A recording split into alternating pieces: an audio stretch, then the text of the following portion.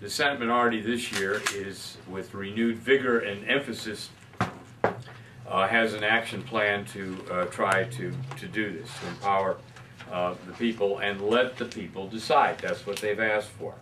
Uh, they came down to this capitol in uh, greater numbers than ever before, and they left frustrated, annoyed, disappointed, and angry. And primarily, they found out that they had very little power. Uh, we are the state that lacks total initiative, referendum, recall, or term limits. The only state that has neither of those tools. So the Senate minority uh, has an action plan to try to bring that about. Uh, I read a column by Mr. Borreca this morning uh, uh, poo-pooing the idea of constitutional change and saying how difficult it is. Of course, it is difficult, and I believe it should be difficult, but it is doable. And I think too many people in our community have given up, and part of the message of the Senate minority is don't give up.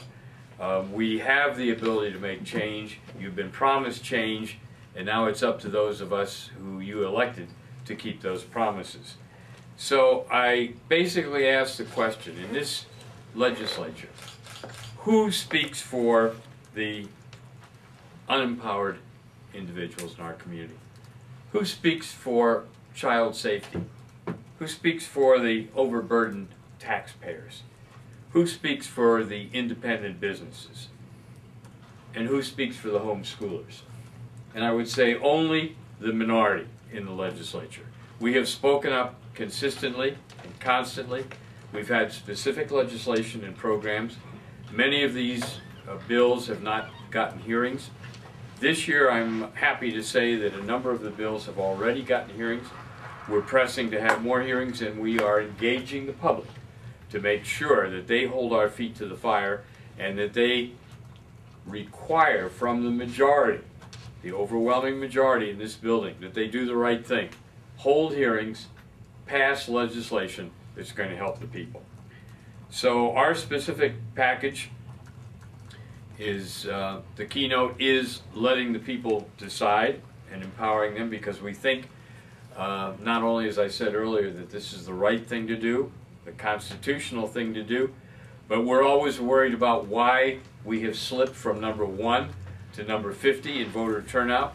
And the answer is the people don't turn out because they don't feel that their vote counts, that anybody is listening to them, that they have any leverage. We want to change that and we want to make sure that we continually engage the public to do that.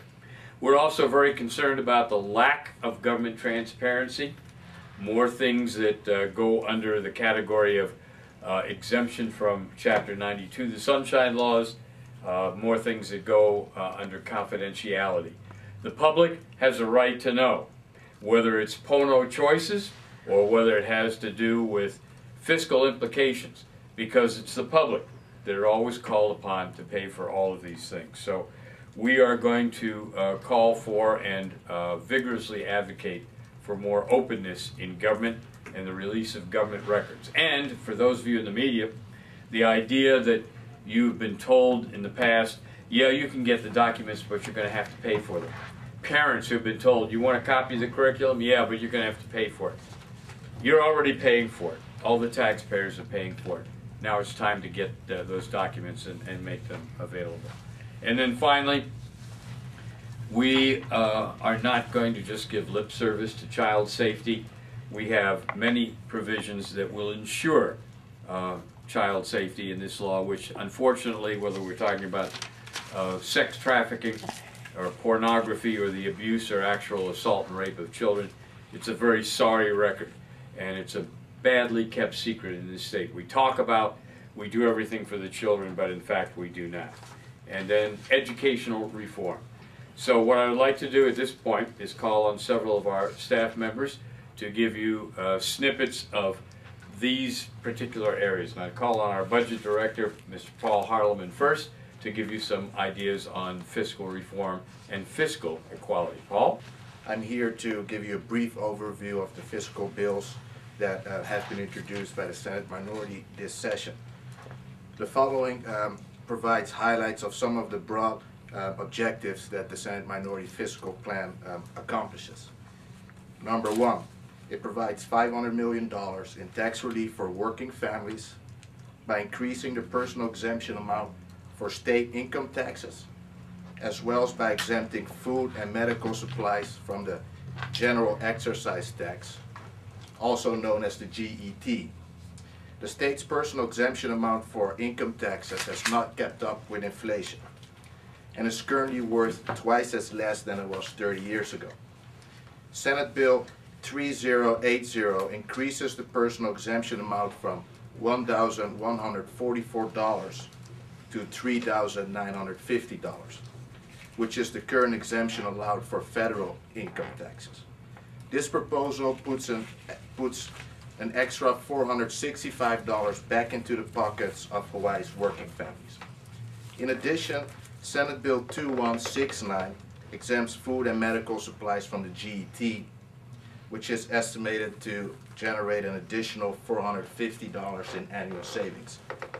This means that both measures combined are projected to reduce the annual cost of living for Hawaii's working families by a total of $915. Number two, it improves the business climate by exempting certain business-to-business transactions from the GET, as well as by repealing the corporate income tax. Hawaii currently taxes 157 different uh, business-to-business services. This is significantly higher than any of the 49 other states.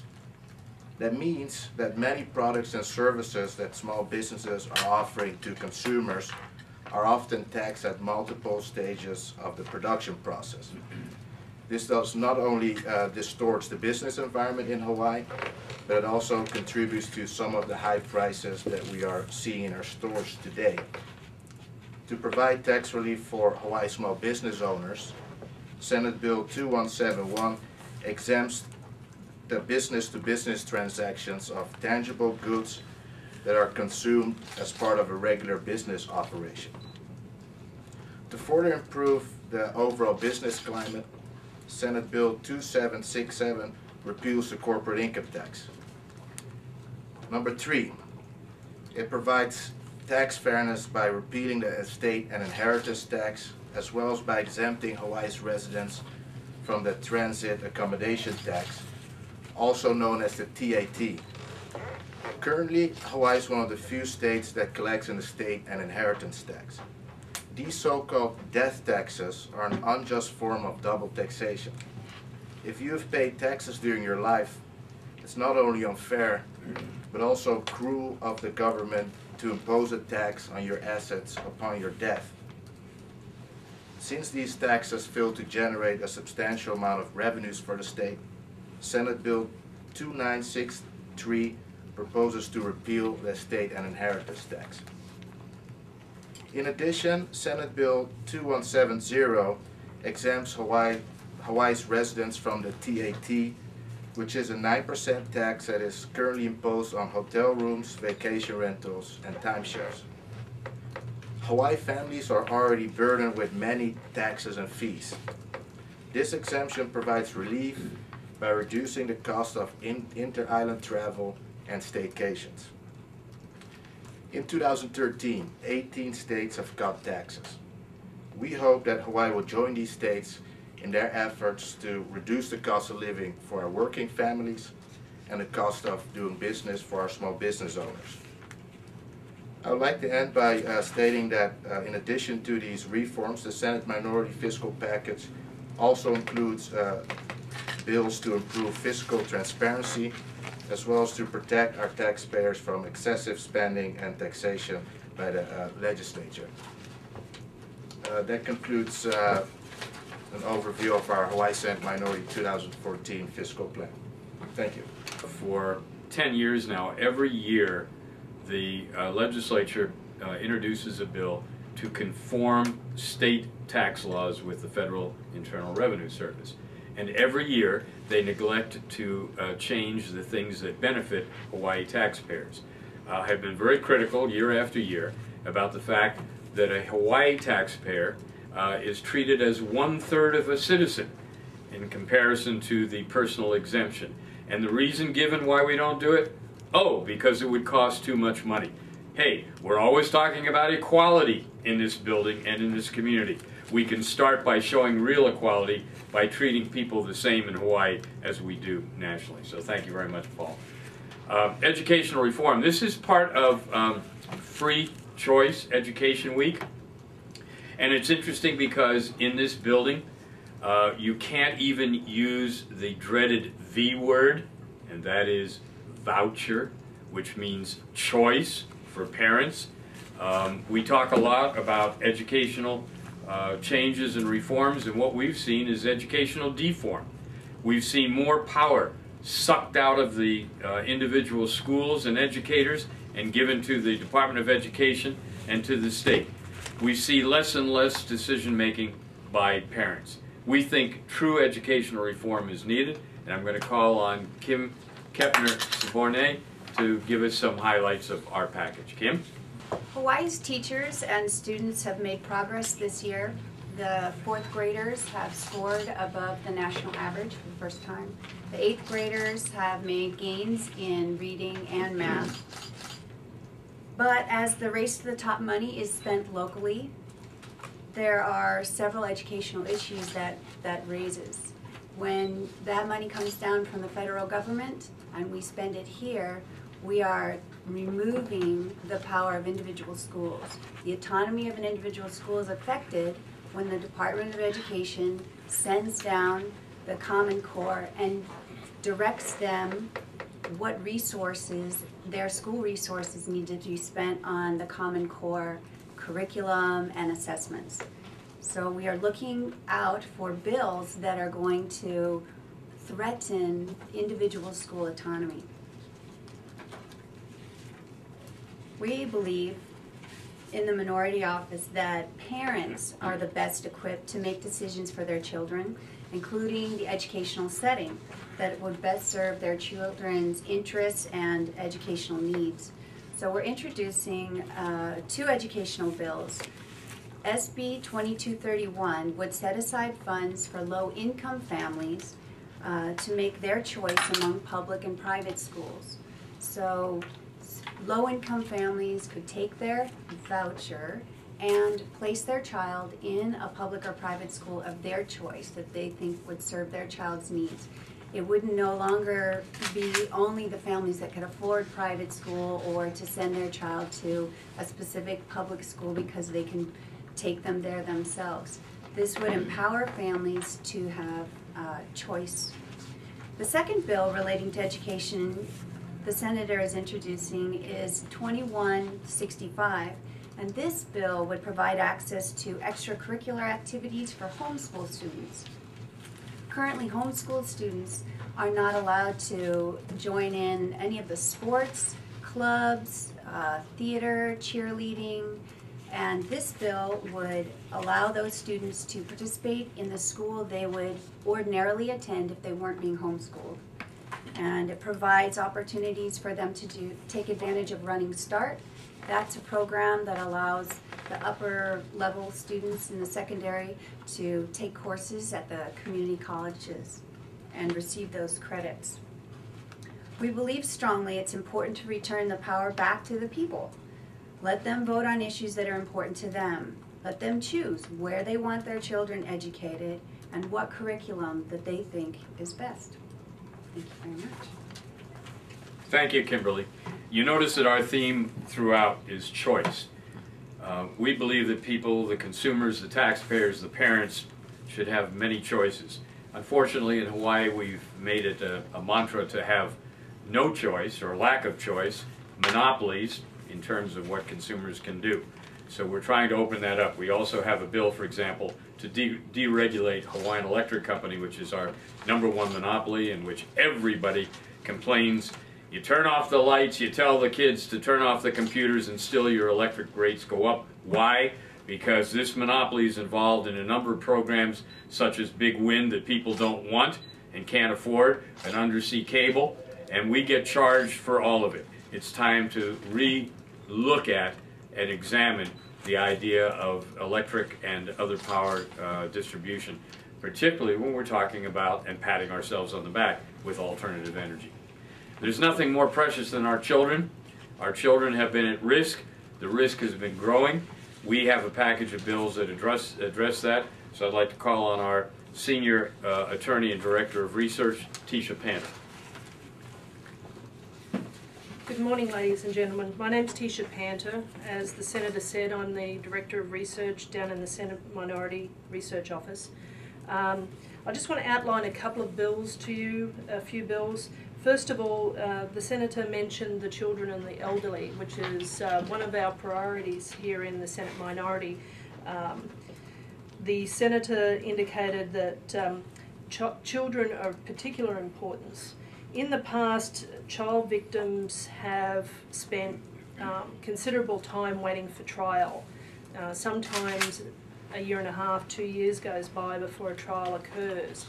And experts that we have consulted with indicate that this results in further traumatisation to the victims because each time they come up close to a trial, they need to be reminded of their evidence and then the trial gets knocked off the calendar and it gets sent to another calendar further down the line in a few months' time.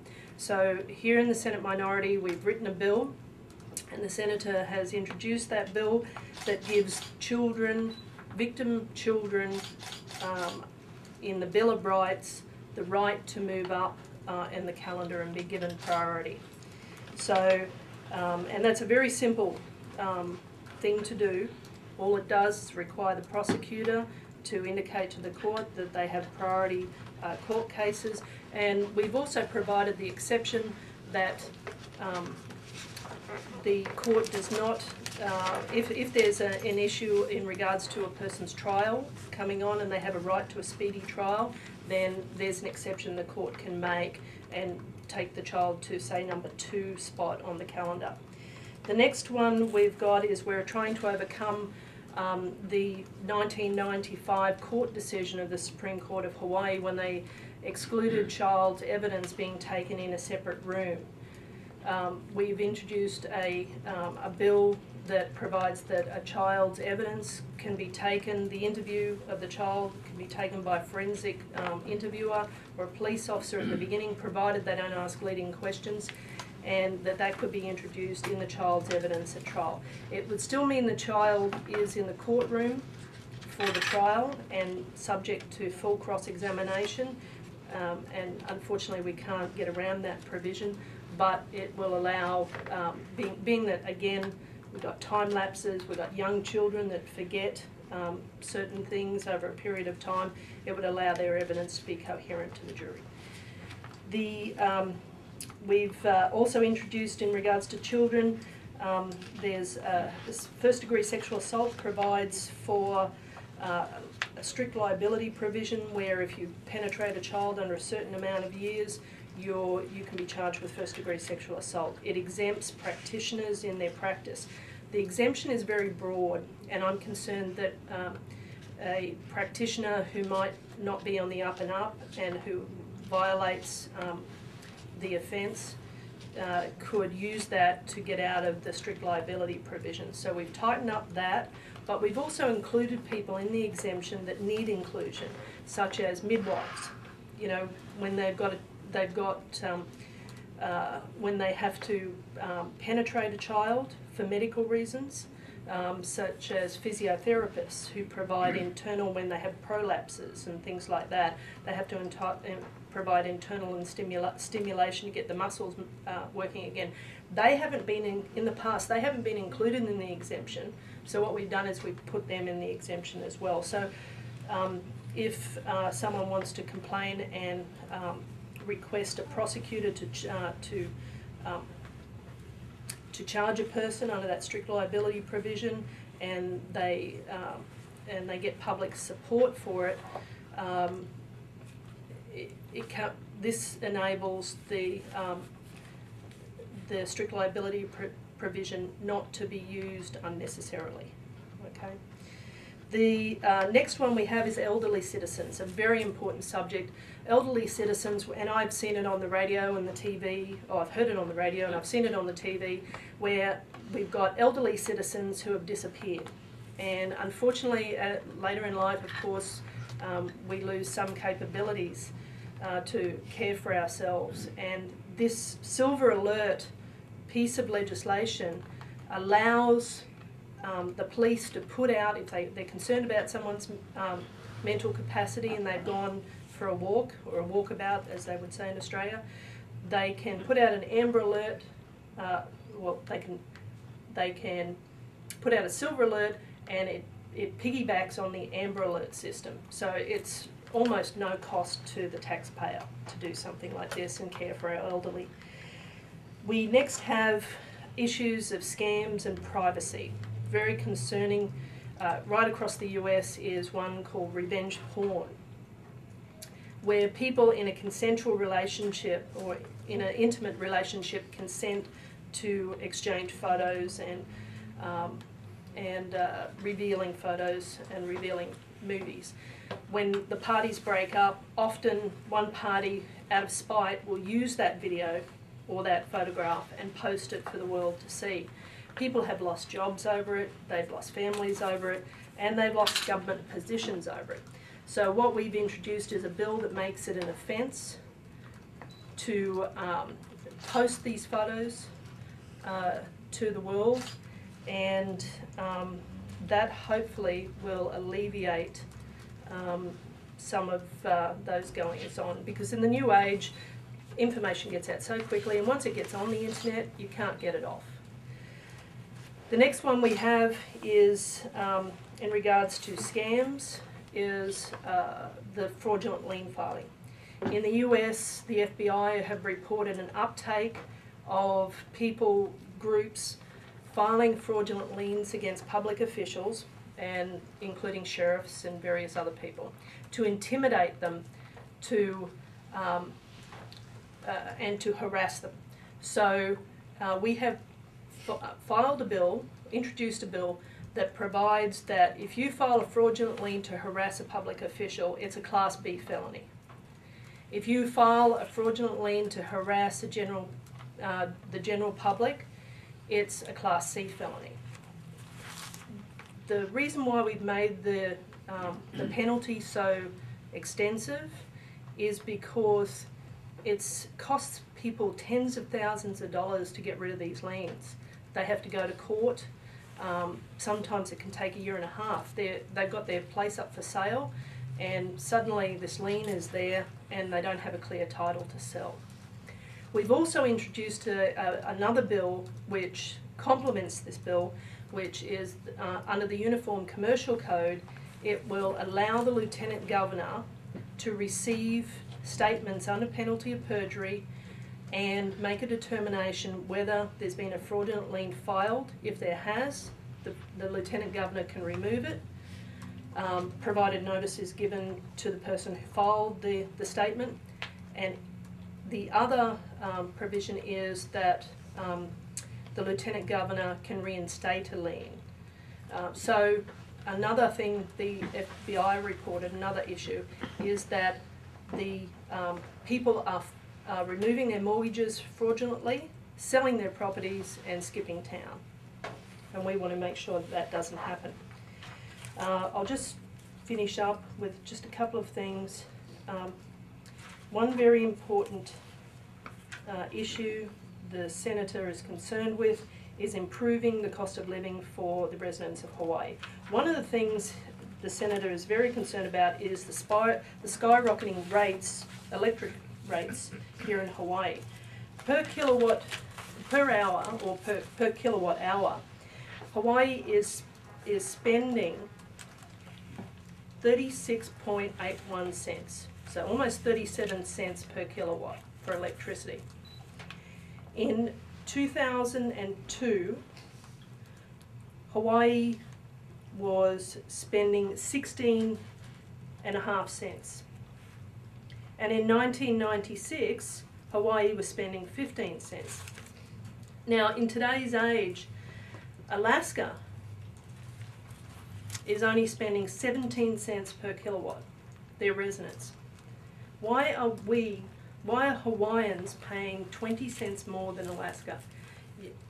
Alaska has to bring in their fuel. It's not like they have refineries up in Alaska providing their fuel on site. Why have we more than doubled in 10 years? So the senator wants to deregulate HECO. He wants to make sure competition comes in and the price comes down. And also, the facilities here are antiquated. They need to be upgraded. HECO can't seem to do it, so why don't we bring in outside competition that can do it? That's all I have at this time. Thank you. I have to make a, a statement for transparency. Uh, the silver alert was not, um, uh, introduced because of me. I've not wandered off, uh, as an elderly person. I'm still here, much to the chagrin of many of my colleagues here. Let me, uh, I, I think you can tell that first of all, our package is really thinking out of the box, well-researched, uh, and different from uh, other bills that you've uh, read about or heard about or whatever. We're very serious about reform. We're very serious about allowing the people to be empowered again.